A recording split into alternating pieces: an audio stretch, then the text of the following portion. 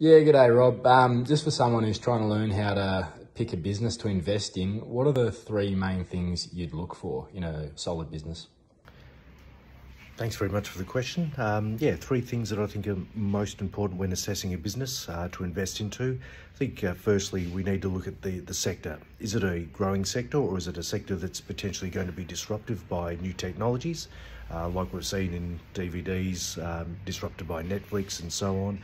Um, so is it a sector where it's a long runway for growth and it's scalable?